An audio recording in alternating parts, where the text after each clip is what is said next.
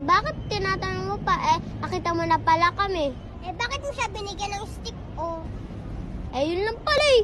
Dinala mo pa yung lunchbox niya. Ano mo ba siya? Sumagot ka!